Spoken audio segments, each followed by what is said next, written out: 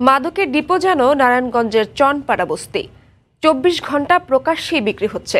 সহজলভ্য হওয়ায় ঢাকাসহ আশপাশের এলাকা থেকে চনপাড়ায় ভিড় জমায় মাদক সেবীরা।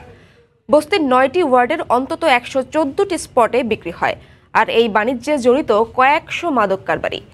এলাকাবাসীর অভিযোগ, স্থানীয় এক জনপ্রতিনিধির ছত্রছায়ায় বছরের পর বছর ধরে চলছে মাদক বাণিজ্য। বুলবুল রেজা রিপোর্ট, ক্যামেরায় ছিলেন রেজাউল হক রিপন। কোনো মানুষ কথা বলতে তার কাছ থেকে সাহস পায় না ভাই। সে এই এলাকায় জয় কয়টা মার্ডার হয়েছে, প্রত্যেকটা মার্ডারের সাথে সে জড়িত ভাই। প্রত্যেকটা। এই এলাকায় যত মাদক আছে, প্রত্যেকটা মাদকের সাথে জড়িত ভাই। ওই মাদক, ওই মাদকের টাকা আর একটা গাড়ি আছে, গাড়ি দিয়ে দিয়ে উঠায় ভাই। ওই চনপাড়াটার শেষ। আমরা বাঁচতে চাই। আমরা কিচ্ছু চাই না।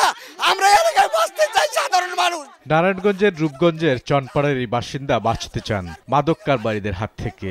এলাকার লোকজন তাদের হাতে জিম্মি। কয়েকদিন পরপর মাদক কারবারিদের নিজেদের মধ্যকার দ্বন্দ্বে সংঘর্ষের ঘটনা ঘটে। তখন অগ্নিসংযোগ করা হয় বাড়িঘরে, করা হয় লুটপাট।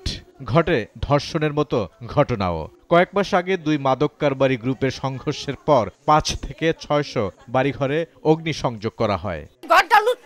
ঘরটা লুটপাট করে নিছে ভাঙচুর করে আগুন লাগাই দিছে এটা আমরা বাধা দিতে গেছি দেখা আমার ছেলের এই দোকানটার মধ্যে কিচ্ছু নাই সব নিয়ে গেছে।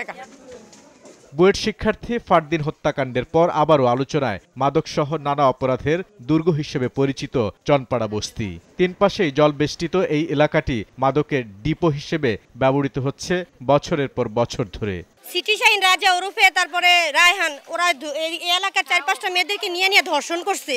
এই এলাকার ওপেন মাদক বিক্রি করতো। চনপাড়ায় গেল পঞ্চাশ বছরেরও অধিক সময় বসবাস করেন এমন কয়েকজনের সঙ্গে। কথা বলে জানা যায় কয়েকজন চিহ্নিত মাদক কারবারির নাম।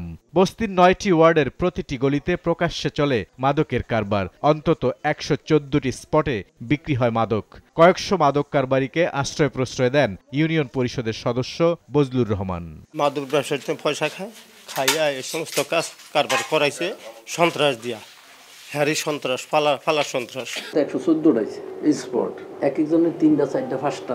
কেউ কিছু বলে না আহ মাথা নষ্ট বেটার জীবনটা খুঁইব। বন্ধুর অনুমতি ছাড়া একটা পুলিশ ঢোকে না আমি। হিসাবে। রোডের পাশে বেচতেছে খাইতেছে। পুরা এলাকায় মনে করে নিয়ন্ত্রণের বাইরে। এক পার্টি দূরে দিব আর পার্টিতে বেচবো এটা নিয়ে লাগে। তিন দিন আগে র্যাবের সঙ্গে বন্দুকযুদ্ধে নিহত সিটি শাহিন মাদকের চিহ্নিত একজন ডিলার। কথা হয় তার স্ত্রীর সঙ্গে। স্বামীকে নির্দোষ দাবি করে জানালেন আরও কয়েকজন কারবারির নাম।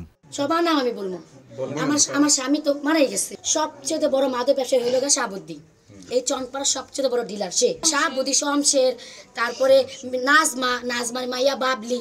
আমার স্বামীর আহ, তারপরে হইল গিয়া শাহাবুদ্দি শাহ আলম। শফিকুল শফিকুলের ভাই কবির ছোট ছোট পোলা পায় মাদক বেছে যা কিছু ঘটছে সব মাদক নিয়েই গত চল্লিশ বছরে এলাকাটিতে শুধু মাদক ইস্যুতে খুন হয়েছে তেইশটি। বুলবুল রেজা সময় সংবাদ চনপাড়া নারায়ণগঞ্জ।